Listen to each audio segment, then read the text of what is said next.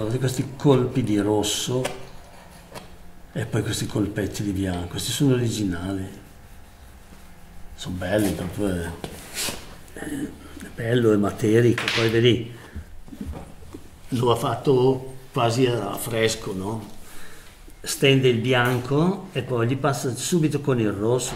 Se ho dei pentimenti rispetto a questo lavoro, ce l'ho, eh, come dicevo Beppe Vassori, con la burocrazia. Mi dà i nervi la burocrazia, non lo sopporto. Però sono convinto che se la gente venisse pagata forse avrebbe anche voglia di lavorare un po' di più.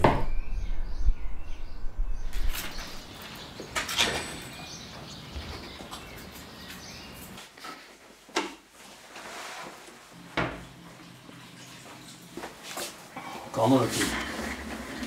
Tutto comincia con Mia sorella ha sposato questo Pietro Lorenzelli, figlio di un antiquario, però lui diventa gallerista, comincia a fare collezioni di natura morte e poi vabbè, muore numismatico, perché muore a 52 anni.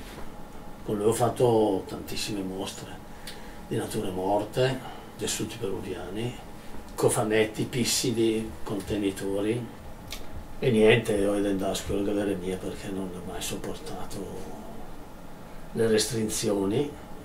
E finite le medie sono andato a lavorare. E il vecchio Lorenzelli mi manda da, da questo Marchi che è questo restauratore e lui è un italiano. Però lavora a Ginevra, faccio fischio, sono andato a questo, qui mi trovo avanti un quadro di Lanfranco, un moriglio di che rabbia, culo, sti, sto che... E sono rimasto lì fino all'83 quando lui è morto. Qua vedi questi segni circolari, sono i segni delle pallottole della, dei francesi. È arrivato il pallettone di piombo, l'ho trovato conficcato in un vecchio telaio. Queste parti sono già state restaurate e completate.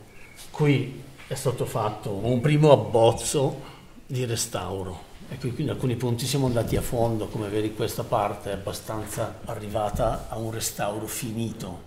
Prima c'è lo stucco, la prima stesura di colore, la prima stesura di velatura, piano piano lo si porta a collimare con l'originale. Oggi riesci a controllare le puliture perché qualcuno ci è venuto incontro con, con i materiali per esempio. Non sono indifferenti, una volta acqua ragia, alcol, acetone, diluente e via andare, scuole, avessi potuto frequentarle forse sarebbe diverso oggi.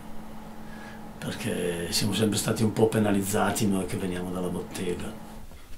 Questa bulla regia, questa qui è Pergamo, Mileto, Tunisia, il Guggenheim, che me è infotografabile, che sono mia mi è convinto, fai la foto, ma, ma fai le tut.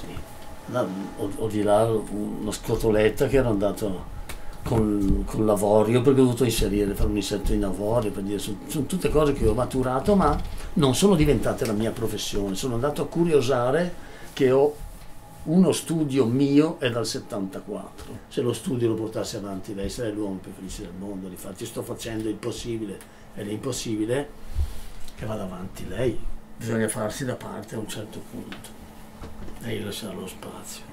Io non, non posso permettermi di smettere di lavorare perché prendo la pensione dal novembre dell'anno scorso. Non so cosa lascerò, ma almeno un po' di, buona volontà. Sì, non posso che pensare bene perché è finita.